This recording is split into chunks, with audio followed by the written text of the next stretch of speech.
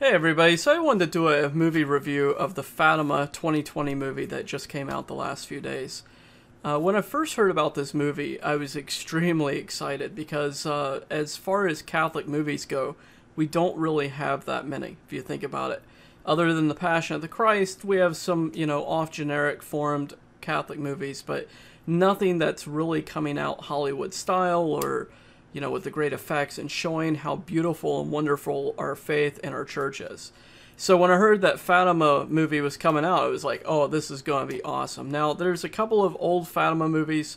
There's one made in like 1951. It's built mainly for children. It's a great story, has actually extremely accurate uh, depiction of Fatima and the children, the messages of Our Lady and hell and all that, all that stuff.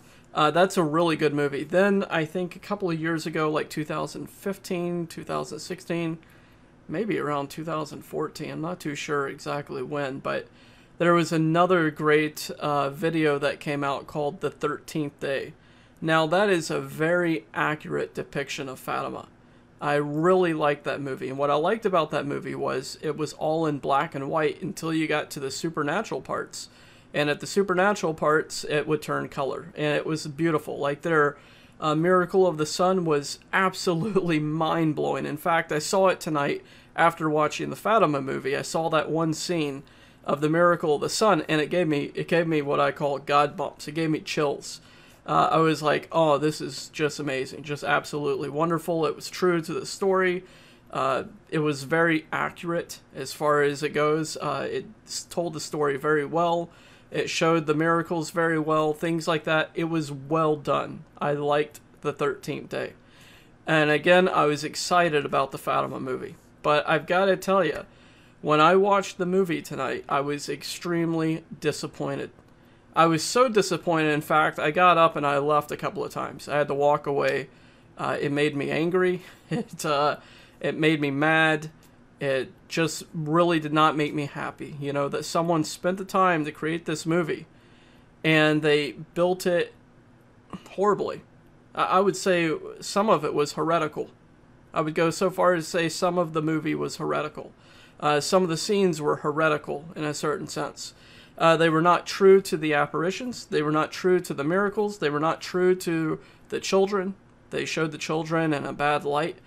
Uh, I think they showed the church in a bad light. Uh, they created stories that were not even part of the original apparitions. So what I'm going to do is I'm going to break this down piece by piece and tell you kind of what happened, what they showed, what was not accurate, and I've got to tell you just right now, do not waste your time on this movie. Don't waste your money on this movie. I hate to say that if, if the director somehow come across this video, I'm very sorry, but what you did to this Fatima movie was not good.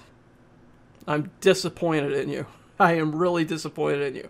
All right, so first let's go ahead and start with how the movie starts. So it starts out, it tells a little bit about the story about Fatima, when it happened, the apparitions in 1917. And as it goes through the opening scenes, it starts out with uh, Lucia, or Lucia, however you want to say her name, in a cave. So you're like, oh, okay, what's she doing? Maybe she's playing around. Well, a, a bird flies by and it kind of scares her, and she's in the darkness of the cave, and all of a sudden she hears a voice and it says, uh, Do not be afraid. Um, I am the angel of peace, the angel of Portugal. And out steps this woman with a perm. Okay, a woman with a perm, supposed to be the angel of peace. Now, when the angel of peace actually did appear to the church children, first off, all three children were there. They were outside. They were not in the cave. They were outside, and they were playing a game of pebbles. This is from Lucia's uh, writing, from her own writing, what she wrote in here. They were outside. They were playing a game of pebbles. Uh, they were out with their animals, with their sheep, and uh, they heard a crack of lightning, and they heard the wind in the trees, and then they saw this beautiful light and this amazing light came down to the to the ground that they saw. And out of the light they saw a man around the age of 15 walk out. And he was beautiful shining bright light made of light. It was a absolutely gorgeous apparition for them. And that happened in 1916 not 1917 as this movie depicted it. So if you remember, the original story, the original apparition of the Angel of Peace was a whole year ahead of the actual Fatima apparitions, which did happen in 1917. Okay, so the movie opens up. They're in a cave. Sorry, not they. Just Lucia is in a cave. And she sees like a bat or a bird fly by and she ducks. And this woman steps out, looks really rather unremarkable in the dark. And she's got a perm job. And I'm like, are you kidding me? Are you kidding me? Uh, very, very disappointing. So I'm just going to show you this right here. This is from the movie. And you can see this is the angel of Portugal. Just going to mute this and show you a little bit of this video. A little clip. And that is supposed to be the angel. Then the angel points up and she shows her a war going on. And Lucia looks up and she sees a war. She sees airplanes, she sees battle going on, shooting. Uh, then she sees this uh, man, and he's injured in the war, and she, she yells out, Manuel, Manuel. Well, if you remember in the original story of Fatima, it was mentioned extremely small. Um, Lucia, Lucia did have older brothers. I'm not too sure how many. Uh, and it was a very small part of the story. I don't even think they talked about them in the war. But this is a major theme in here. She sees in this vision Manuel in trouble in the war and injured or something like that, and she's yelling out for him. Now, that is totally outside of the original apparition. And that's not even, this didn't even happen. It did not happen in a cave. It was an angel of peace. It was a young man uh, made of light and when the young man made of light came in, this is what he said. This is from EWTN. This is what the first apparition was.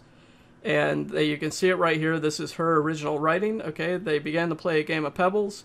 We had only been at it a few minutes when a strong wind began to shake the trees, and we looked up to see what was happening since it was such a calm day. And we began to see in the distance above the trees that stretched to the east a light whiter than snow in the form of a young man, quite transparent as brilliant as crystal in the rays of the sun.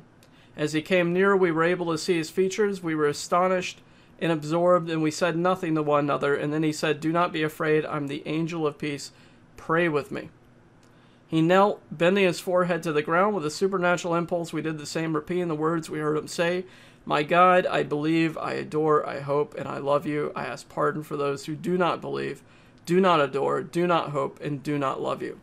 And after repeating this prayer three times, the angel rose and said to us, Pray in this way, the hearts of Jesus and Mary are ready to listen to you. Okay, so that is where this angel left them. And then he, uh, after he said another little prayer right here, he disappeared. And they said, you know, he left us in an atmosphere of supernatural that was so intense, we were for a long time unaware of our own existence. All right, the presence of God, how powerful it was. All right, so we have this this movie here just starting out incorrectly. I was like, oh no, oh no, what is going to happen? What are they going to do? What are they going to show here? And uh, the first apparition happens. Our Lady in the movie here in the Fatima 2020 movie, Our Lady walks up and uh, she walks up. Okay, so they hear a clap of thunder, they see some lightning, uh, and she walks up to them on the ground. In the actual apparitions, she appeared on the tree. She appeared on the tree floating in a cloud, a white cloud, I believe.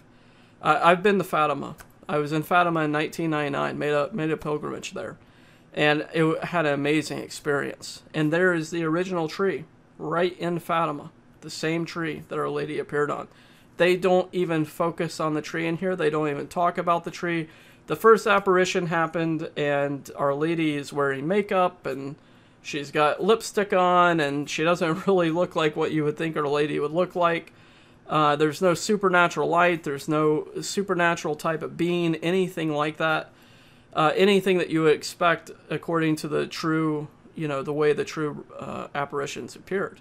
Uh, what was also disturbing is people started to come. So at the second apparition, there were a lot of people there begging the children to heal them. They were lifting up medals. They were lifting up pitchers. They were uh, little kids were injured and they were asking, hey, can you heal us? Can you heal my child? That didn't happen. That didn't happen, all right? People were there, people were praying with them, but to the best of my knowledge, that never actually happened. Uh, you didn't see that type of stuff happening until later on in the apparitions, maybe number two, number three, number four, or something like that. Uh, what was also disturbing was uh, Our Lady during the second apparition said, um, you know, Lucia leaned over and said, "Hey, this this woman with her child, her child needs to be uh, healed." That never happened. That did not happen in that apparition. It did not happen. They put that in there, and then Our Lady looks out at this person, and she says, "I'm gonna see if I can find it here on the video." Let me see if I can find this. Okay, so here's the kids. Let's see we can come down through here. I'm going to pause this video and I'll be right back. Okay, so here we are at this uh, part of the video, and uh, here's the injured child hanging on to his father. The mother's begging him, hey, can you please uh, heal my child? And supposedly Our Lady, well, in this apparition, Our Lady says, you know, if they only believe in me, they'll be healed. That never happened. It just did not happen. Okay, and then what's even more disturbing is this next part. And this is the part where I would say this is if not heresy, it's very close to heresy. Uh, and I'm going to play this part right here. Okay, so asking the hill, hill, hill, hill. All right, we come up to this part. They turn around, tell the lady, hey, um, even though they're not believing, Our Lady removes piece of her garment. And oh my gosh, this is just disturbing. Okay, and these nails are in her heart and she begins to bleed. Okay, and blood is dripping down her garment. Are you kidding me? Are you kidding me that this is actually in this video? She puts it back up, looks disappointed, shakes her head at the kids, and then what happens? All of a sudden, the boy gets healed. All right, looks over. The kids are like, oh, what's going on? Here she is. She looks over. She touches Lucia, and all of a sudden the little boy gets healed. That never happened. That's awful. That is absolutely horrible. That is a horrible thing to do. That that never happened. Our lady never had nails coming out of her chest.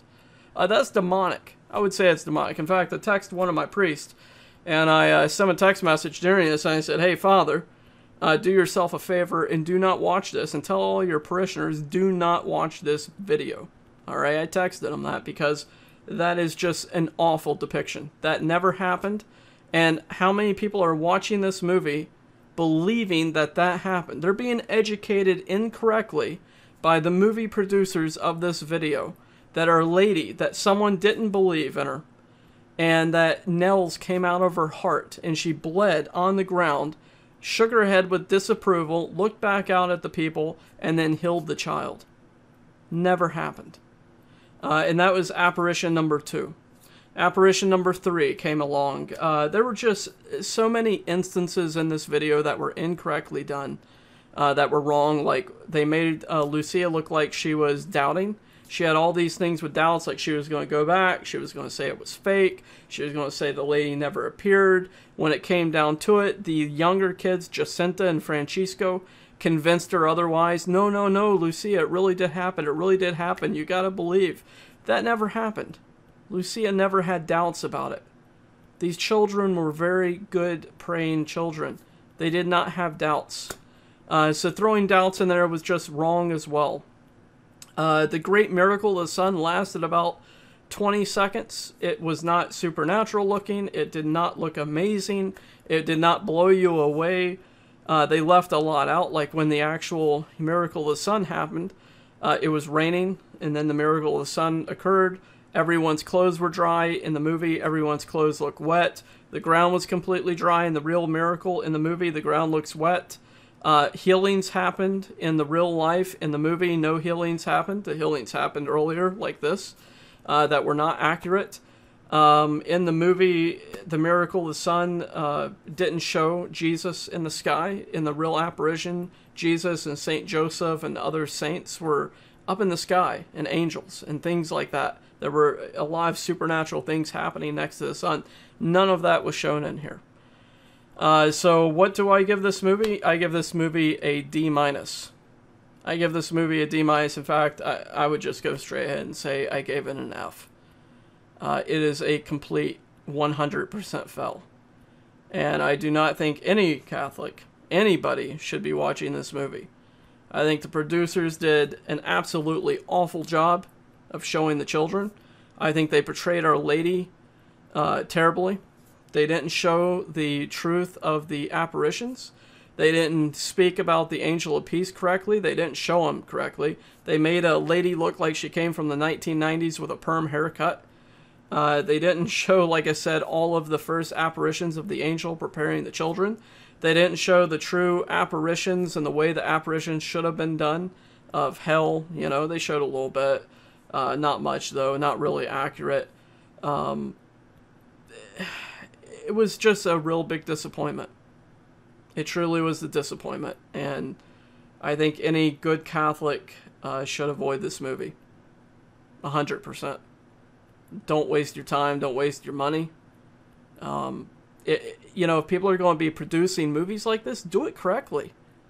Mel Gibson, when he made The Passion of the Christ, he made an absolutely beautiful, glorious movie that was based on facts. It was based on facts, and he showed everything. And it was an absolute mind blowing, amazing movie, and he stuck to the scriptures. He stuck to the story. He stuck to it to a T. All right, he didn't add stuff to it. He didn't ad lib Jesus. Jesus wasn't telling jokes like a comedian. Uh, Jesus didn't have, you know, a cell phone pop out of his hand or something like that. Uh, if the producers of this movie had made it accurately and they'd shown the true angel of peace, a man, not a woman with a perm job, uh, if they had shown the children as they truly were, not disrespectful. They were kind of disrespectful, talking back to their parents. Uh, they showed uh, the, Lucia's mom at one point beating Lucia, you know, off the cart because it had to do with Manuel, the oldest child that was missing, you know, in war. That never happened. She didn't beat Lucia. You know, and in the movie, she was punching her and she was slapping her and she knocked her off the cart and she was yelling and screaming at her. That did not happen in real life. All right, none of that happened in real life, and I think that this was absolutely done terribly. But if the producers had done it correctly, they could have made an absolutely mind blowing movie that would have converted souls, that would have generated within people a sense of the sacred, a sense of the supernatural, the beauty of the world. Think about it right now, we needed this COVID 19, all the chaos going on in the world, all the the looting, the murders, the shooting, the robbings, the the rioters, all the hate, all the anger, all of that out there. And if the producers had made an uplifting movie of Fatima 2020, it could have brought about great graces, wonderful change to the world. I truly believe that. But instead, what did they do? They added a bunch of garbage in. They left out the good stuff. They left out the true things here. Uh, and they went with like a Hollywood type of type of deal. And it was unfortunate, and I'm very disappointed in this movie. So that's how I'm gonna do it. This is my review. Sorry to go on for almost 19 minutes. It made me, uh, like I said, upset. Uh, I think that this was just a, a waste of money. If I could get a refund from it, I would. But unfortunately, YouTube doesn't allow me to get refunds for rentals. Uh, so, anyways, guys, there it is. If you want to see a good movie about Fatima, either watch the 1951 version, whatever version that is, or watch the uh, 13th Day. Wonderful Fatima movie. But I would avoid Fatima 2020. All right, take care. God bless. Cheers.